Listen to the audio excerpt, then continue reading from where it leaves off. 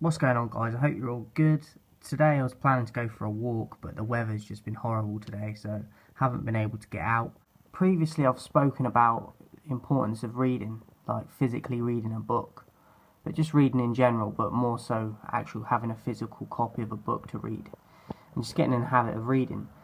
Now I know a lot of people struggle with that. They think it's boring or they don't actually like reading.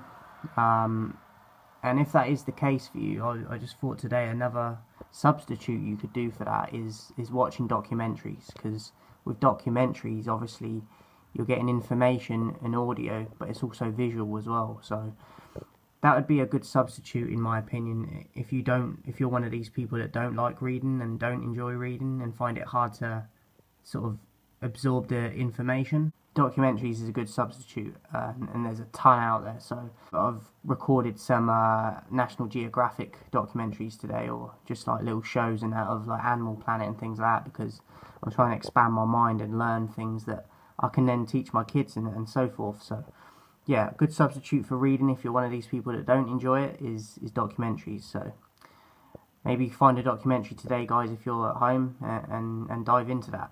I'll speak to you soon. Have a good day.